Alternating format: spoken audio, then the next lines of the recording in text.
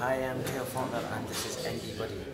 Um, I don't know because I think fans of my music would be fans of this as well because I think the only thing that's really missing is like just reading electric guitars and um, it's got pretty much everything that I've done on other records. It's just basically what the song sounds like review it up.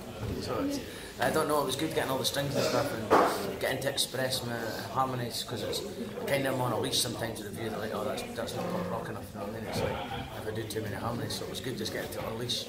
So it. It's the first, it's the first record I've ever produced on my own. I've co-produced some stuff, um, it was the engineer was kind of not really helping us. I, I kind of thought I'll produce bit, I'll get some help, but he was like, just, you know, you're doing it kind of thing unless you want my name to it. So it was a bit, uh, it was a bit strange. Um, but uh, no, not not having anyone to feed off. I had a drummer there, but he was like, he wasn't getting any points or nothing. So it was just, he was just kind of telling me what to play, and so he was the one to get involved. So it was just, I was like, come on, somebody say something. So, but it's good. I mean, it's, it's freedom, but it's like a bit too much liberty and getting away sometimes. But obviously, it's worth this time. But um, I'm going to be starting to do some new stuff. I'm going to Thailand next week to start on some new stuff. I'm bringing guitarist for this band because I felt quite lonely last time. So just like just go a bit insane on the studio all day on your own and doing take. Uh, sometimes it's good for the band because you could do your take and then just leave and they could do their bit for you know you go swimming or go to the pub. You know what I mean? But it's like shit, I've got myself. But, um, but I did enjoy it. No, it was good. But uh, for doing that for six weeks, it was a bit. Don't because I never really had any intent.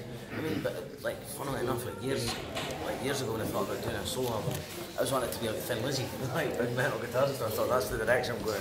Twin leads, like big, fear, get the earrings in and everything, like. But uh, I don't know, like, I think for this, I just because it's because it's never been my job to be a lead, a lead guitarist or to be the bass player, or do you know what I mean? So if, when I do it, I would keep it quite minimalistic anyway.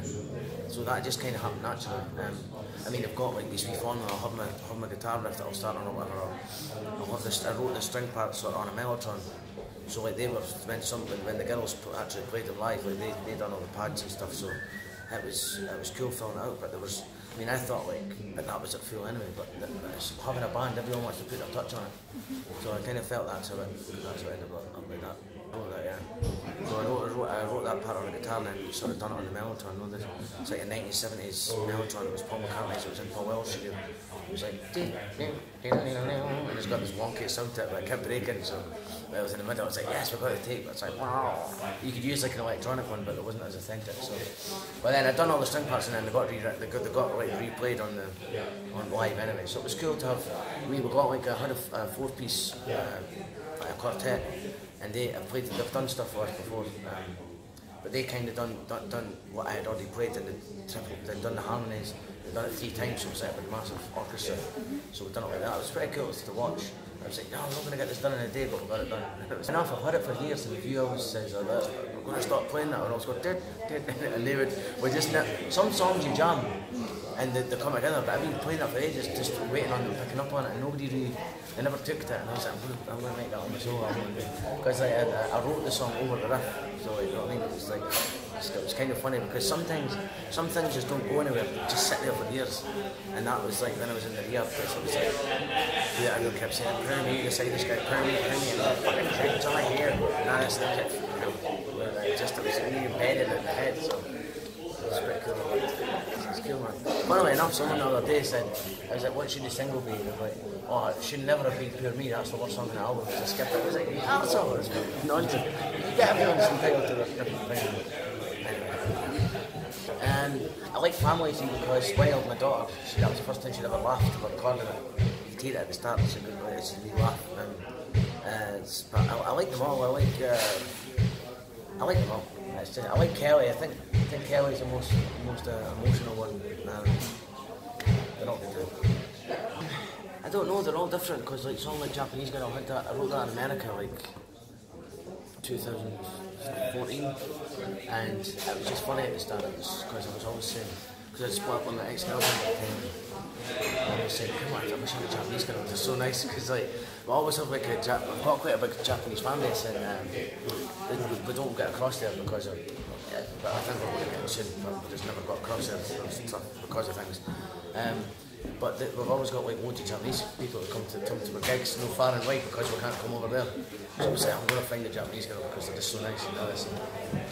So like, like uh, songs are different. Like Kelly was about uh, uh, someone in the school that was like sort of transsexual turned out to be like transsexual in school wasn't really sure what their sex was or like and was kind of bullied.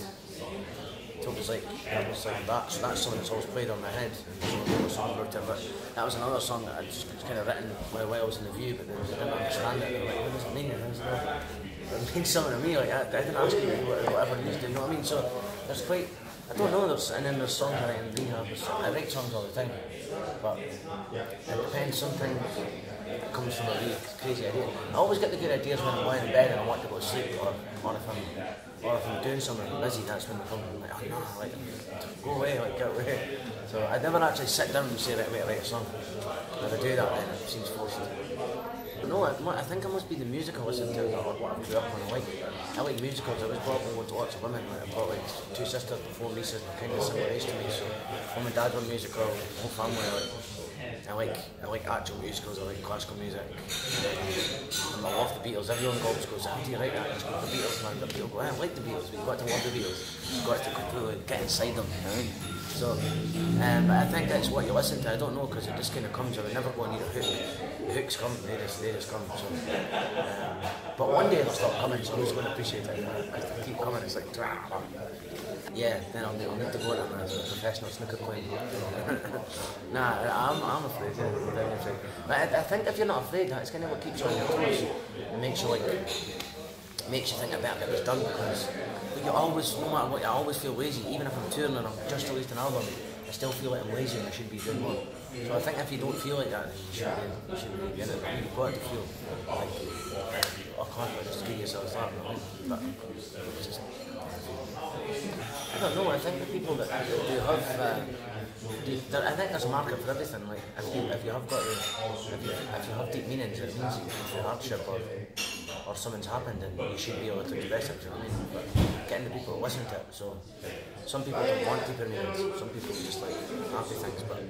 I think that's what that's what gives you longevity. Like, I mean, I know the stuff that I like has always got deeper meanings. I mean, if the Beatles never heard their story, or, or Oasis never heard their mental story and stuff, I wouldn't have, I would have spent, you know what I mean? But I think you've got, as, as uh, to follow on is, is uh, to, for, another, for another artist to like another artist, you've got to have all the. But I mean, so, I mean, people just like grooves, you know what I mean? That's, I've never really been, I don't think I'm a groovy guy, you know what I mean? I'm not really, I think that's that's good. I think it's good to be quite. Like, I know that I'm limited. I mean, I'm a musician, musician I can play, play the instruments well, but I've never been a, wanting to be the best guitarist in the world. You know what I mean? But I think it's good to leave room for other things. You know what I mean? Like just because a lot of people are like just.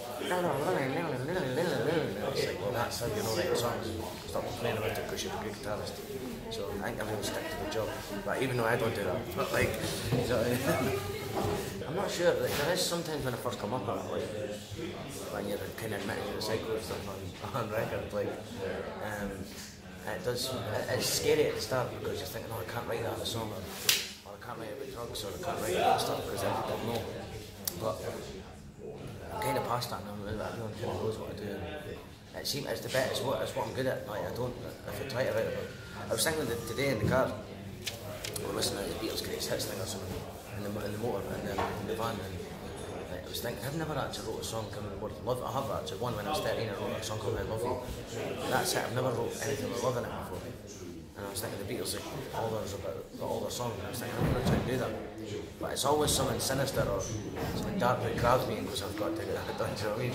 Yeah, that's. I love stuff. I love growing up. I love Crowded House, and like they, they've got all the dark meanings and like like beautiful South. You know, they're quite you have to you have to delve a wee bit further to, to understand what's going on. So I think that's where I kind of get that from. Um, it's it's getting better, it's getting tired. We've got a violin player, but she's not here tonight, so she plays all the, she's got a pedal board and does the full work. She's meeting me in Manchester tomorrow. Um, but yeah, it's five piece band, good harmonies tight, it's good. It affects me um, because I've kind of admitted stuff. people kind of frown. There's some venues that don't want me in and stuff. Yeah, yeah, yeah. And some people are just like, oh, you're oh, not even that, that, that riff raff you know what I mean? Like, there's a lot of stuff that I I've got, I've got a lot of men's doing, you know what I mean? So it's like, I don't actually remember what I've done bad to people, but I must have done bad things. Um, but yeah, man, that's, that's, that's good, man. I get sort of the, bad people, so you tell he's actual friends, and not. Still get it in the street and stuff, like people shouting stuff. And I've always heard that anyway. Now they're like, I mean, I was playing in Dundee the other day.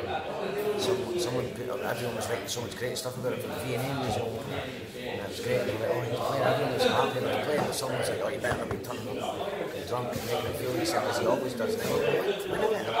When try like doing what I've been done doing since I was 17 year old, you know what I mean? Like it's, it's hard, you know what I mean? Watching your parents and stuff like people, people to judge you know, from anything, so that pisses me off sometimes. But that, I try not to read stuff, but now and again I've got a phone, you know what I mean? Just go, oh no, I shouldn't have read that. It's like. Listen to Beatles, um, classical music is good, go to sleep with classical music on rather, rather than the TV. Know that I do that, I listen to watch TV all the time. Um, and I know it sounds cliche, but I try not to do too much drinking drugs because it's pretty mental. Well, maybe wait till you're a wee older because start early becomes a habit. Um, Manchester tomorrow, um, just touring, touring I'm going to I'm going to Taiwan next week. Do, do some recording and do this thing for Netflix. I think. uh, we're going to we're going to Taiwan for ten days. And where else we going? Just gigs. What? Sheffield. Sheff- Sheffield's coming up. Yeah, Sheffield gig. Um, just loads of gigs. Thanks for being a good interview.